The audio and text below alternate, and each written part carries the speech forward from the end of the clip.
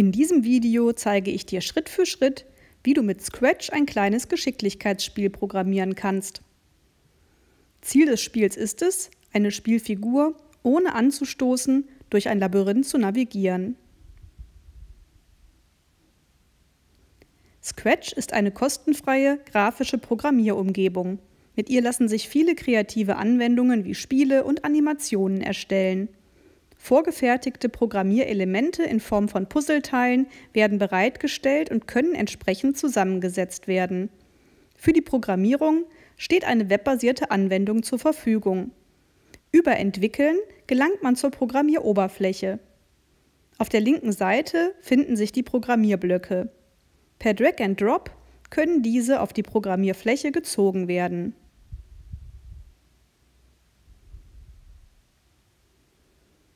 Der Bereich auf der rechten Seite nennt sich Bühne. Hier kann man sehen, was programmiert wurde.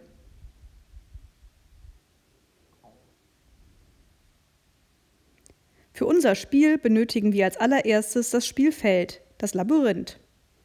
Dafür müssen wir ein eigenes Bühnenbild anlegen. Klicke dafür rechts unten auf Bühne und anschließend auf den Reiter Bühnenbilder rechts neben Skripte. Hier können wir nun das Labyrinth zeichnen. Wir wählen eine Farbe als Füll- und Randfarbe für die Labyrinthbegrenzungen aus.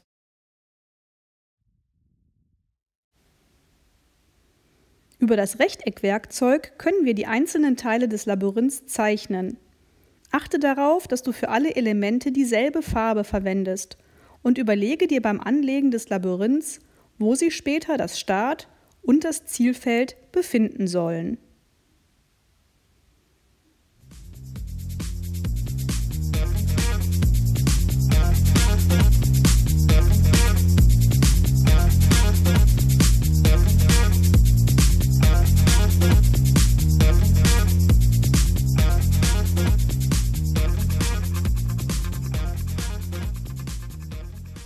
Als nächstes brauchen wir eine Spielfigur.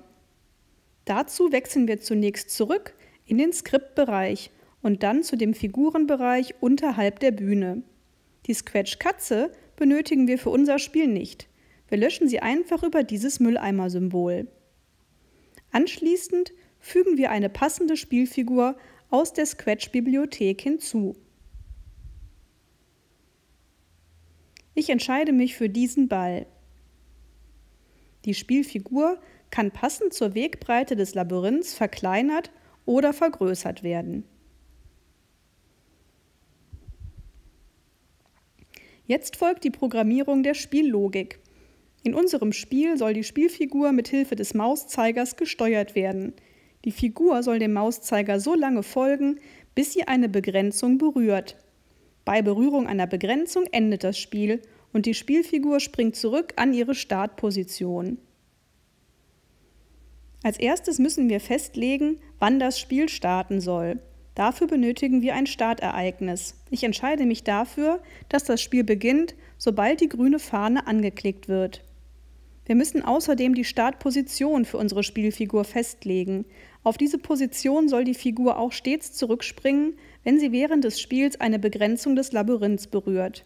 In der Befehlskategorie Bewegung findest du die Anweisung Gehe zu x, y.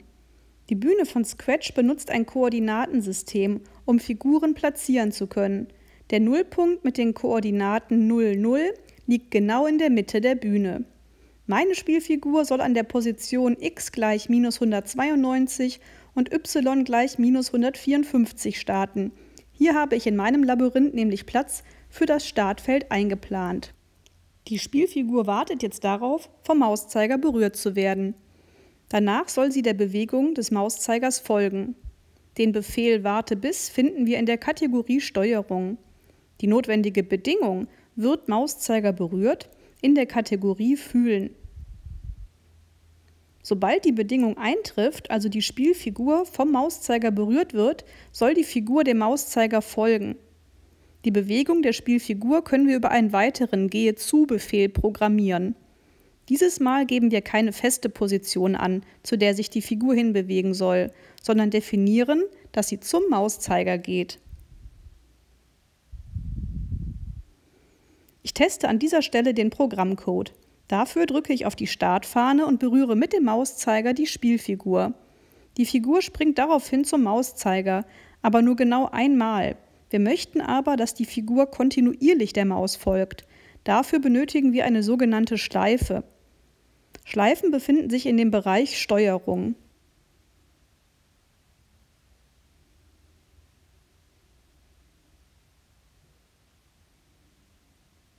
Alle Befehle, die sich innerhalb einer Schleife befinden, werden wiederholt. Sobald ich auf die Startfahne drücke, springt die Spielfigur auf seine festgelegte Startposition zurück. Jetzt folgt die Figur dem Mauszeiger kontinuierlich, so wie wir es für unser Spiel benötigen. Als letztes müssen wir noch festlegen, wann das Spiel abgebrochen wird, nämlich genau dann, wenn der Spieler mit der Figur eine Begrenzung des Labyrinths berührt. Das heißt, die Schleife, die wir ausgewählt haben, müssen wir um eine Bedingung erweitern. Wir ersetzen deshalb die Schleife Wiederhole fortlaufend durch die Schleife Wiederhole bis. Die Schleife soll nur aktiv sein, solange die Spielfigur keinen Kontakt mit den Labyrinthbegrenzungen hat. Wie kann das Programm aber erkennen, ob die Spielfigur eine Begrenzung berührt? Hierfür nutzen wir die Farbe des Labyrinths. Unter Fühlen finden wir die Bedingung wird Farbe berührt. Damit wir die richtige Farbe erwischen, empfiehlt es sich, die Farbe mit Hilfe der Pipette aufzunehmen.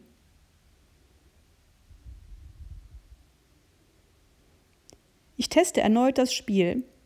Die Spielfigur springt zur Startposition, folgt dem Mauszeiger kontinuierlich und bricht die Bewegung ab, sobald sie ein Hindernis berührt. Ich möchte aber, dass die Figur nach einer Berührung wieder direkt zur Startposition springt und der Spieler einen neuen Versuch beginnen kann. Hierfür benötigen wir eine weitere Schleife.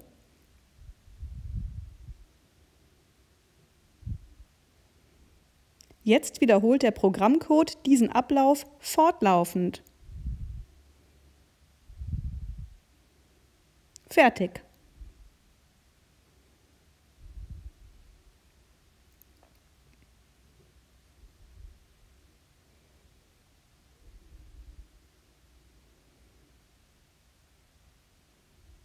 Das fertige Spiel kann auf dem Computer gespeichert werden. Tritt man der Scratcher Community kostenfrei bei, können die Spiele auch online veröffentlicht werden.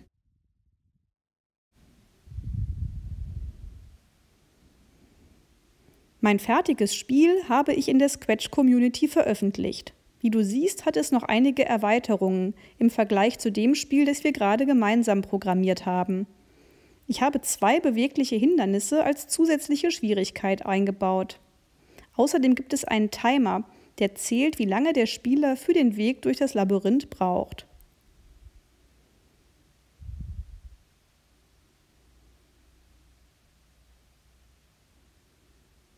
Und ein Zielfeld, das dem Spieler mitteilt, wenn er das Labyrinth erfolgreich gemeistert hat. Wenn du wissen willst, wie du diese Erweiterungen in dein Spiel einbaust, kannst du mein Spiel online öffnen und auf Schau hineinklicken. Hier wird dir der gesamte Programmcode angezeigt, sodass du ihn nachvollziehen und selber anpassen kannst. Den Link zu dem fertigen Spiel findest du nochmal am Ende des Videos. Viel Spaß beim weiteren Scratchen und Spielen deines ersten Minigames.